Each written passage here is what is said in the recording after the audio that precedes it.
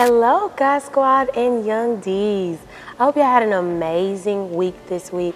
I know we're getting into like the nitty gritty of school, but remember that we have holidays coming up, so you'll have some holiday breaks. I'm glad that y'all are joining us this Sunday again, and I have amazing news. Guess what? What? Well, I'm sad because my Cowboys lost, but you know, that's I hope they win next week, but that's not important. Guess what, for real? What? Okay, so we're starting a new series, y'all. It's exciting. I'm excited for sure. I'm ready. You want me to tell you the title? What? You want to know what it's about? It's about being famous. So, I'm not going to give y'all the details. What? I'm going to give y'all the details. We're going to pray first. Okay. We're going to pray and then we're going to get into it. Y'all ready? All right, bow your heads.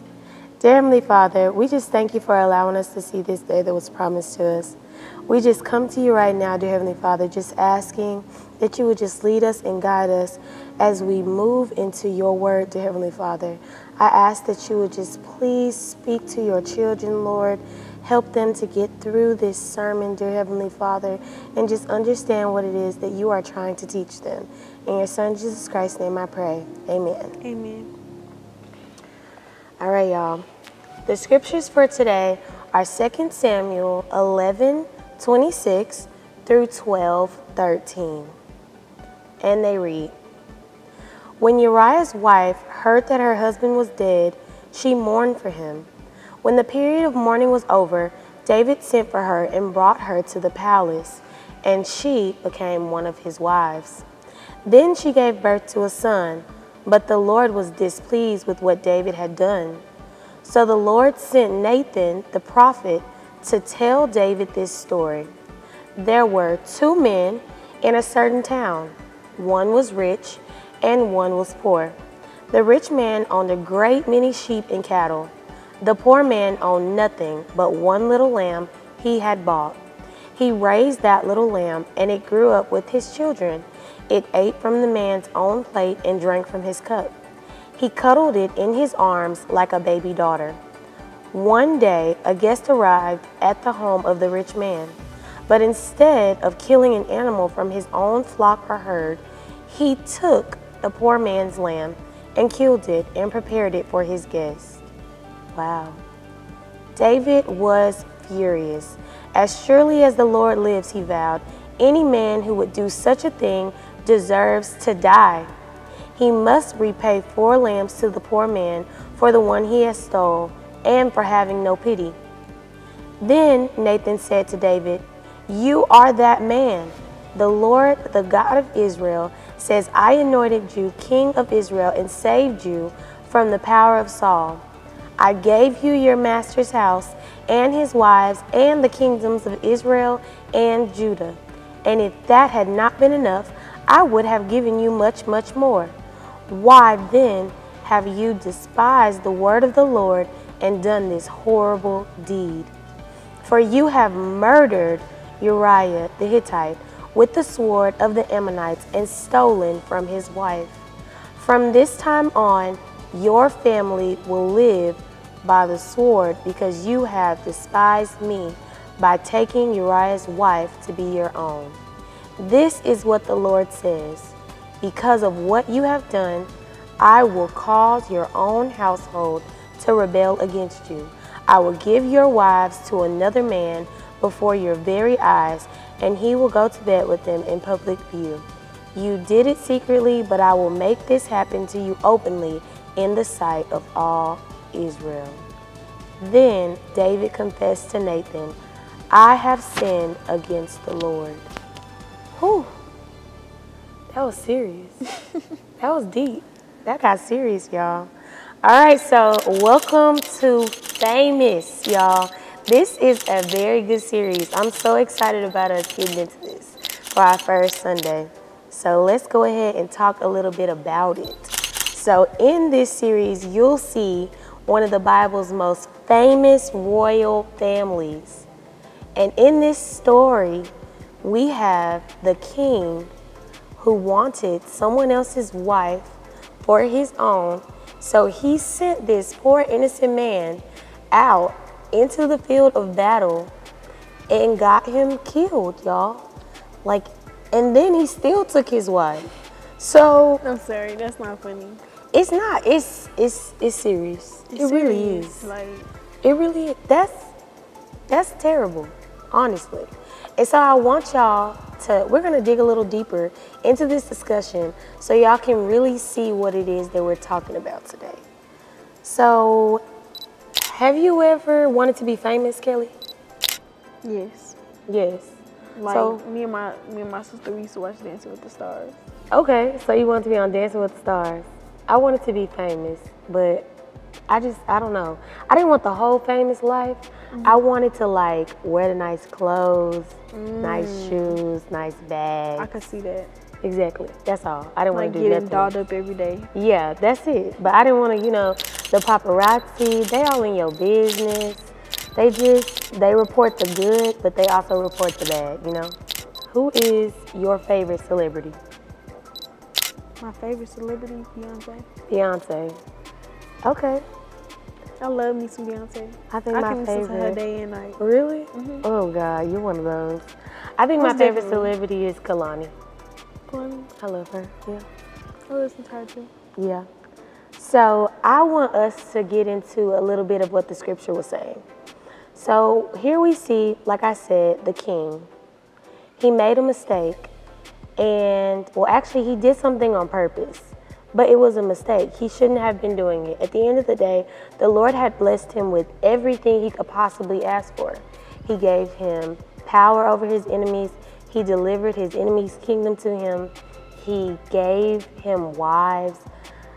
God had literally done everything for him, and he still didn't have enough. He allowed greed to step in the way, and he still went after somebody else's stuff. And so, when we really get into this, I want us to take a look at this story and really see what our big idea is for today, for this series. And our big idea is when we make mistakes, we can make things right. So I want to give y'all a little example, basically, of a celebrity, um, kind of like a skit. So if we were in theater class right now and I was a theater teacher, let me set the stage. So the stage is we're having two celebrities right now, um, or we're having David as his celebrity. And what we're doing is we're going to have a press conference today because the king has done something and he would like some to say something to the people, right? So let's get into it. You ready, Kelly? I think I'm ready. I think I'm gonna be the reporter and you be David. Okay. All right. Okay. And action. Ladies and gentlemen, thank you for your time. I stand before you today to address recent rumors that I play a part in the death of the Queen's husband, Uriel and Hitty. The Hittite. Say it again. The Hittite. You. Hittite. Mm-hmm. You. This is true. I deeply regret my action and would like to sincerely apologize for Uriel's family. And also, I ask for forgiveness from my wife, my children, and you, the people. All right. The king will be taking questions now. If you have a question, please raise your hand and come forward. I, I have a question. All right, Your Majesty. This is the worst scandal this kingdom has ever seen. Why did you do it? I was attracted to now my wife, my wife, Bethine, from that moment I saw her, but she was already married. I made a choice, the wrong one, to send her her husband into battle knowing he would be killed. It's been years since this happened.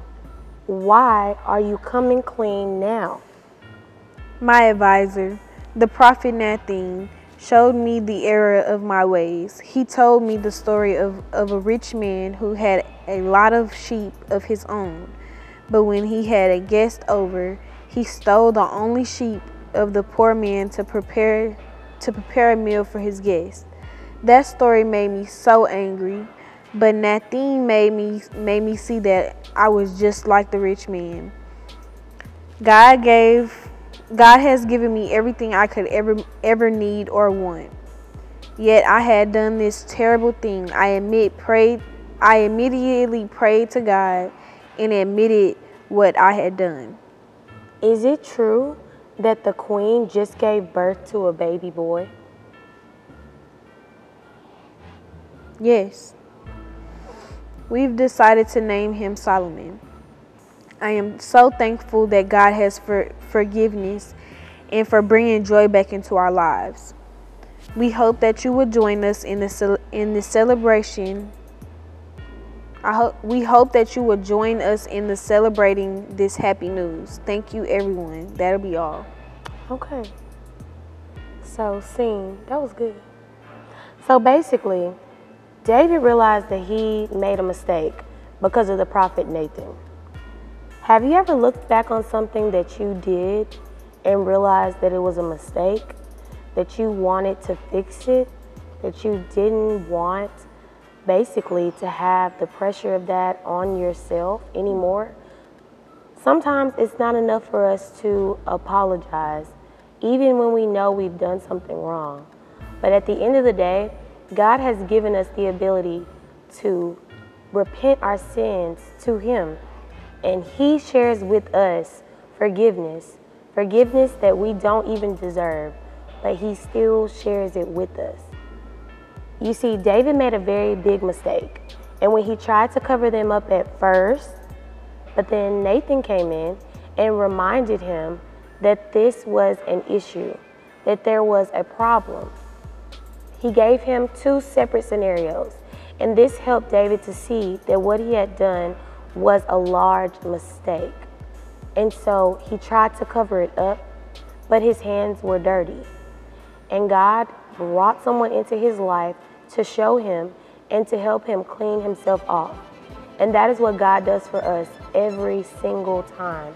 Every single time you think you've done something to where it's too big to come back from, God says, just lean on me. Just bring all of your worries to me. Bring all of your mistakes to me. And He gives us, He grants us this grace and this forgiveness. And I just want you guys to make sure that you remember that.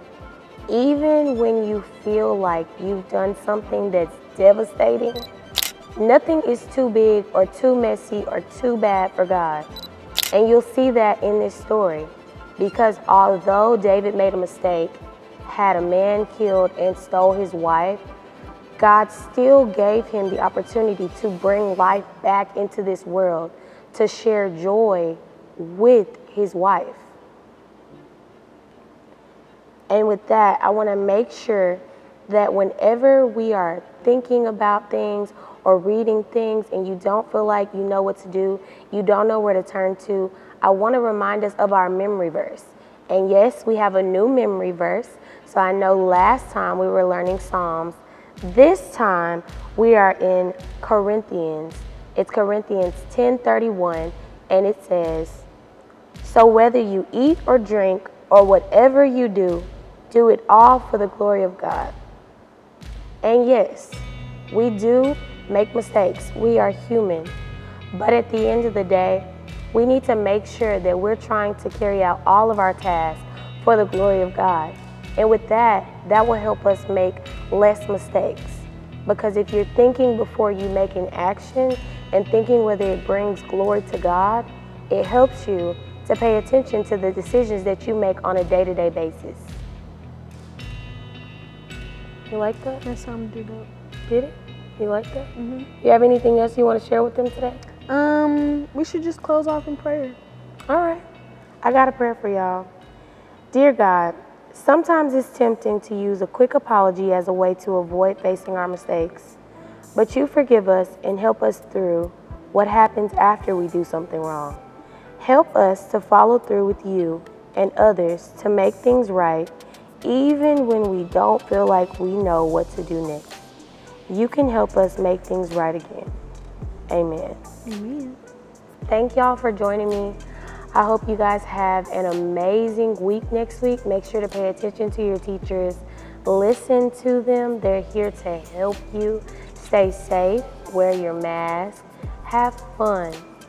I'm glad y'all joined us. We'll see y'all next time. If you're interested in giving with us, don't forget you can give with us on our website, our DC3 app, and our Givelify app. And if you're interested in being a part of our DC3 Children and Youth team, please don't hesitate to email us at students at dc3online.org. Thank you guys. We love you guys, and we'll see y'all next time. Bye.